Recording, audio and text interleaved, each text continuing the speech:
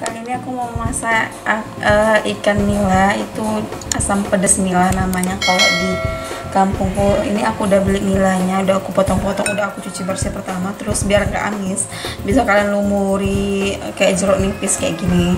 Terus tunggu entah setengah jam atau 15 menit baru bilas lagi. Terus bahan-bahannya untuk memasak asam pedas ini ini aku ada tiga biji hmm, cabai keriting terus cabai rawit ada sekitar 10 gitu. Tapi tergantung selera ya. Kalau lumayan pengen lebih pedas lagi bisa ditambah lagi cabai merahnya atau cabai rawitnya. Terus di sini ada uh, 5 siung bawang merah terus 2 siung bawang putih kunyit uh, 2 cm jahe 1 cm dan lengkuas 1 cm terus ini aku banyakin tomatnya karena aku pengen asamnya itu ambil dari tomatnya bukan. Tapi kalau kalian mau bisa juga dari asam sunti atau asam uh, jeruk eh apa? Asam kandis atau asam potong juga bisa. Cuman ini aku ambil dari tomat. Oke langsung aja. Ini bahannya semua aku blender semua. Oke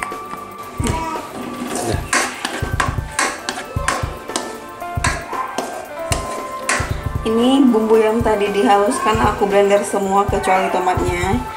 Baru ditumis pakai minyak minyak makan bisa minyak terserah minyak. Curah juga bisa. Dia sampai berubah warna terus dia mengeluarkan harum. Oh iya untuk menumis uh, cabenya ini cukup pakai uh,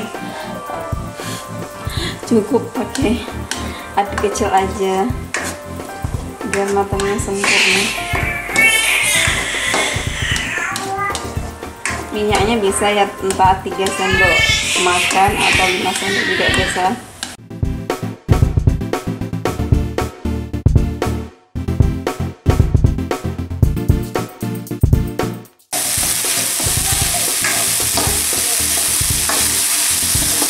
Setelah udah mengeluarkan harum atau cabenya udah lumayan masak lima 5, 500 ml air.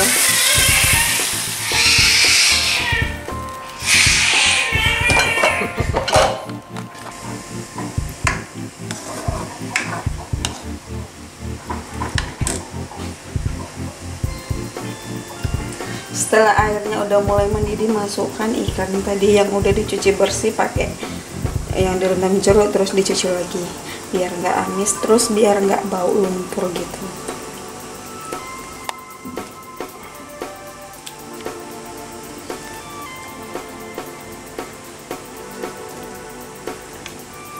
Ini aku masaknya setengah kilo ya jadi ibaratnya kalau kalian mau masak banyak tinggal dikali aja lagi bahannya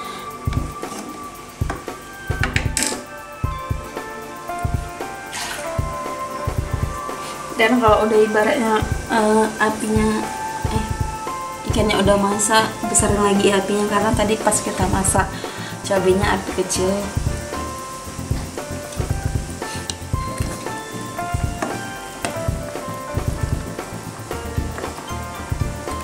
Biar lebih enak lagi ikannya ini pastikan dia yang segar atau pas beli itu dalam keadaan dia masih hidup. Jadi dia segar ikannya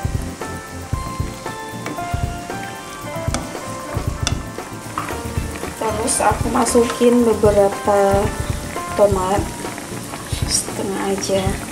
Setengahnya lagi nanti biar dia nggak hancur. Karena aku ngambil asamnya dari tomat. Tapi kalau kalian mau uh, asamnya nggak ngambil tomat bisa jadi dari asam kandis, asam jawa atau asam dari asam sunti juga bisa. Terserah berhubung aku nggak pakai asam yang kayak gitu jadi tomatnya aku banyakin. Jadi kalau bunda-bunda di rumah pakai asam yang aku sebutin tadi itu bisa tomatnya cukup satu buah aja.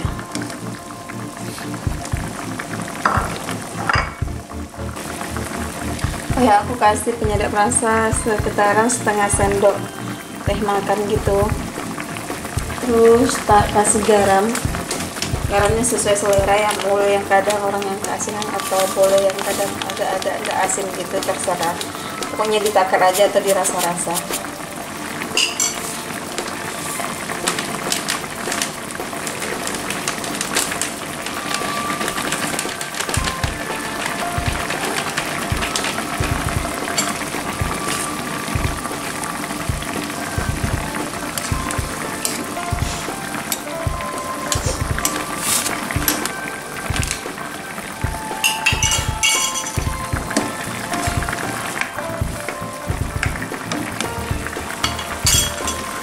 kalau udah udah mau matang kayak gini karena masak ikan pun nggak terlalu lama cukup uh, 2 sampai 3 menit aja.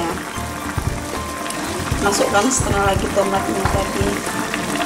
Biar ini nggak ancur biar lebih cantik gitu. Kalau tadi kan dibiarkan ancur biar asamnya keluar gitu. Ini enggak.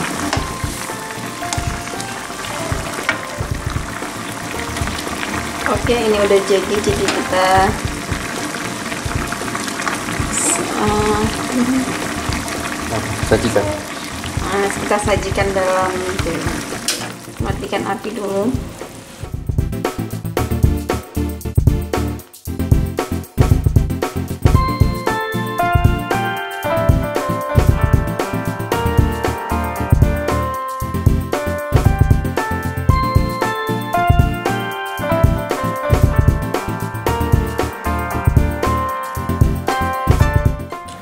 dia sajian mil uh, uh,